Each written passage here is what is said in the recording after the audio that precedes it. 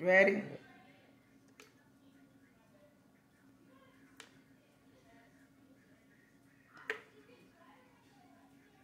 That's one tablet to three ounces of orange juice.